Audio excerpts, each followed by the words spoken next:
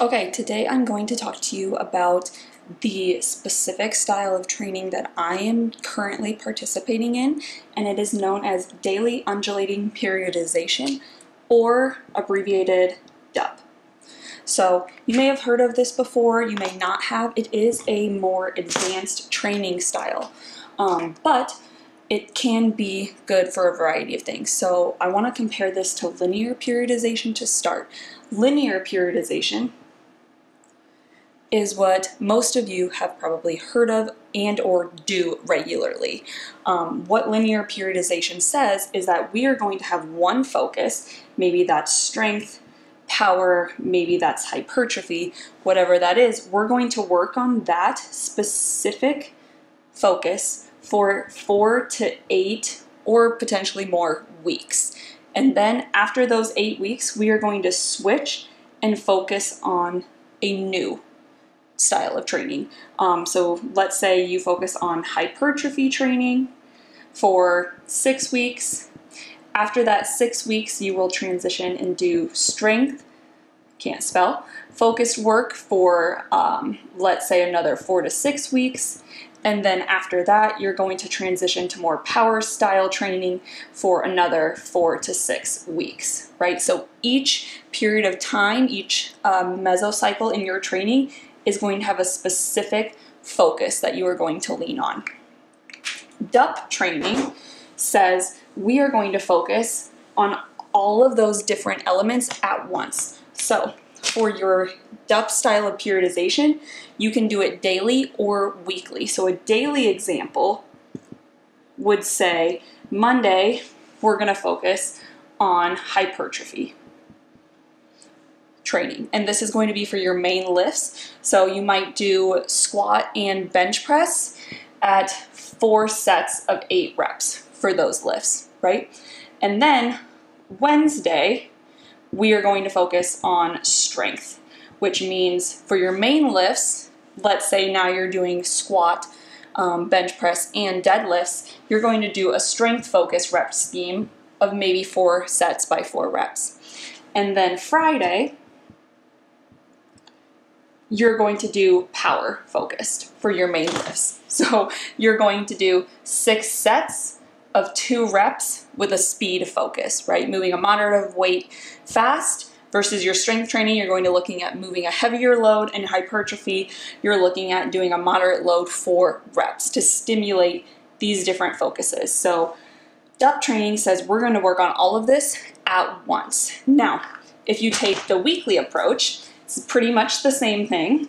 All it says is that you're going to have a different focus each week. So for weekly DUP style, let's say for week one, you're going to focus on hypertrophy, right? So all of your main lifts, my whiteboard won't stay up, all of your main lifts are going to be in a four by eight style rep scheme for that entire week, right?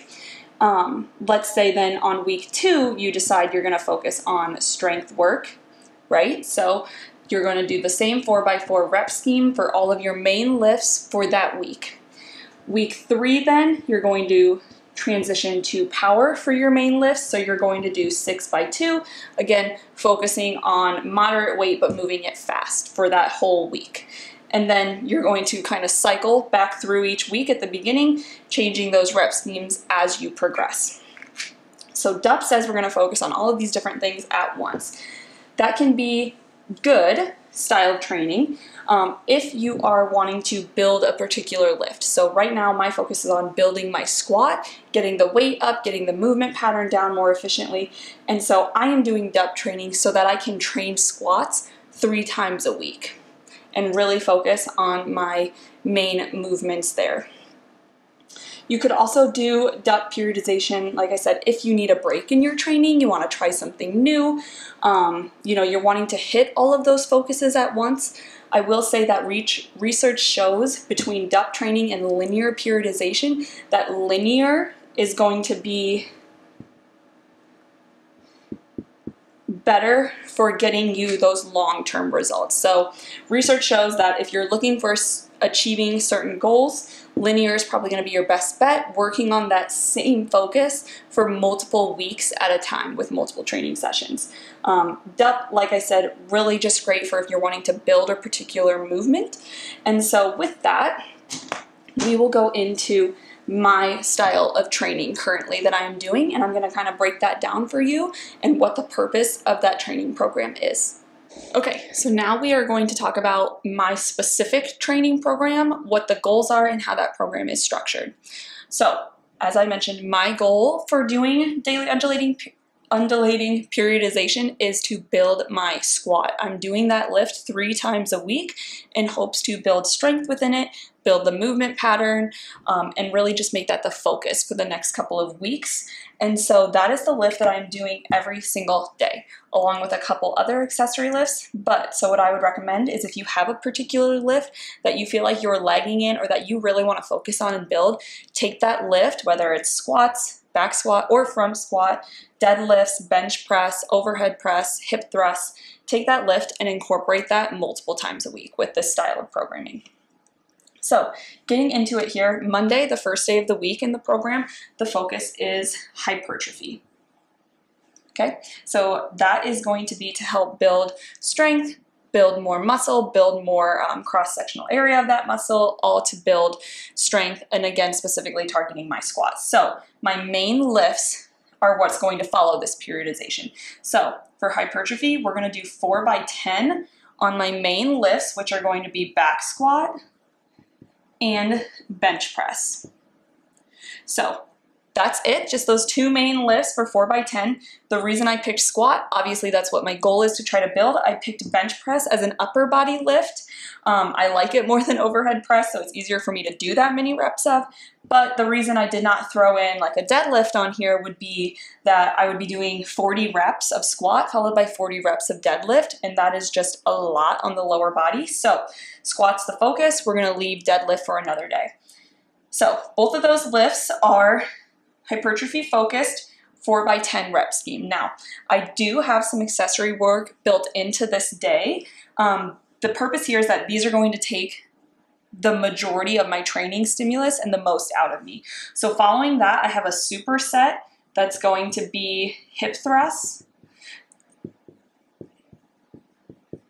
and single arm dumbbell row. Okay, now these are in a rep scheme of three sets by 12 reps. So still a little bit of a hypertrophy focus. Um, and these are going, these movements are both going to help build those main lifts. So Hip thrust is in there because I've got a lot of squatting, right? I wanna match that with a hinging pattern. Hip thrust is a great lift that you can do higher rep on as well as going heavy with that. So I wanted that in there. Single arm dumbbell row, we've got horizontal pushing with bench press, so I wanted to match that with some horizontal pulling. Um, the single arm focus doing it with the dumbbell, and the reason that's primarily with the dumbbell for me is that this being a superset, I don't want to use two barbells for a hip thrust and a row. So um, just trying to make that a little more convenient and conducive to my training environment. So that is the first day of that workout. Now, going into Wednesday, so second training day of the week, the goal here is strength, which means I'm going to focus on lower reps, higher weight, Again, main lifts, squat as usual, because the goal. Um, I'm also going to do bench on this day as well to match the hypertrophy stimulus training, get a little heavier work on the upper body as well. And here's where I'm going to throw in my deadlifts. Right, strength focus. So all of these exercises are going to be in a four by four set and rep scheme. Typical strength um, set and rep scheme there working, you know, under 20 total reps, so being able to push higher weight. Now, these are all done individually, and these are going to take a lot out of me. So, the only other accessory work I have on this day are step ups and that is in a 3 by 10 to 12 rep scheme. So again, more hypertrophy focused work with the accessories on all of these days, simply because, um, because they're accessory movements, they're typically ones that you are going to go not quite as heavy on, but want to push higher reps with those. So um, I chose step ups purely because I wanted a single leg squatting pattern because I'm doing so much bilateral work during the week. I don't want to develop any um, compensations, so I wanted to make sure to throw in a single leg squatting pattern within that. And again, these three, we're doing strength work. They're going to take a lot out of me mentally, physically, out of my central nervous system. There's going to be long rest periods in between each of these lifts. So these lifts are going to take the majority of that training for that day. Step ups, real quick, some hypertrophy work, single leg squatting pattern within that. So that's the focus there. Now, moving on to Friday. Friday is a power focus day which a lot of people struggle with power because you're using a lighter weight and you are doing even fewer reps. Um, so it does, it, for some people, it doesn't always feel like they got a great workout in, but the goal is not to drain your entire body. The goal here is to work it, work on speed, right? So continuing to be able to move a lower to moderate amount of weight very, very quickly. Athletes, this is your focus for most of your training is going to be power building, depending on unless you're like a super endurance athlete, but for, even they will have power built in. So big focus here. The main lifts are going to be squat, as usual, right? Um, overhead press. So now I'm building in that um, vertical pushing to match all of the horizontal pushing I've got in here. And those are the two main sets for that day. Because we are doing power, we are going to do six sets of two reps, right? So 12 total reps. That load is not super, super light, but it's not super, super heavy. It's going to be a moderate load that I can move very quickly. And the goal is going to be moving that weight with speed while still maintaining good form. Okay, so longer rest there. Um, those are going to be the bulk of the training for that day. Now, a little bit more accessory work on Friday. Um, I built in chin-ups. Okay. Um, the purpose of chin-ups is we've got, right, vertical pushing. So I wanted some vertical pulling. The chin-ups, great exercise. Um, the hand position with the chin up is going to target more of the bicep, which is going to help, again, build other movements, especially those vertical pushing and pulling. So We've got chin-ups that are set by themselves. Um, I'm really just gonna try to maximize those and go as much as I can. Um, I do have it listed as back off sets, so I'll be adding weight to those and taking it off to kind of fatigue the muscles a little faster and stimulate more growth. So that's set by itself. The other remaining um, accessory work is going to be a superset, and it's going to be RDLs with um, a half kneeling shoulder press. Hopefully you can read that. Okay, so those are superset together, again, in another hypertrophy rep scheme. So those are going to be three by eight to 10 reps each.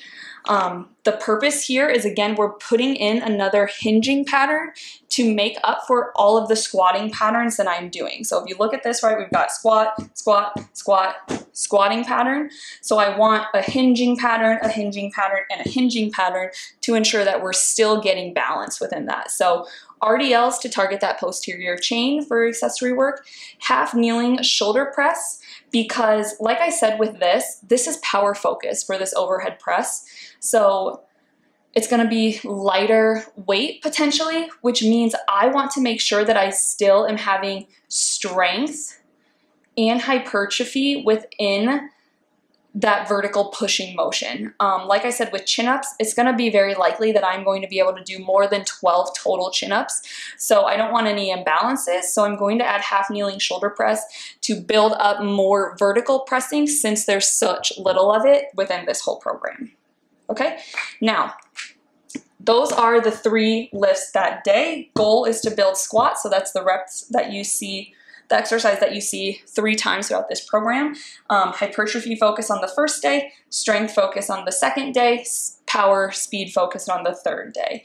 Um, as I mentioned, because my goal is to build my squat, on each of these days, I have specific prehab and mobility work program to do before I hit this squat every day that's really focused on increasing my hip range of motion, increasing my knee range of motion and stability and ankle um, stability and mobility within that. So doing all of that prep work to really go into that squat feeling the best I can and build that way. So that is an example of one way to do daily undulating periodization for yourself. Um, like I said, pick the lift that you want to build within and put that in three times within that week. Um, it is a much more advanced training method. So compared to linear periodization, right, this is something that's much more advanced because you're doing multiple main lifts multiple times a week, and that can be very taxing on your body, on your central nervous system, and on your mind. So, um, not a training style that I would recommend for any novices, but definitely one where if you're an intermediate lifter or more, much more advanced and haven't tried this training style, um, I highly encourage you to give it a try and let me know what you think.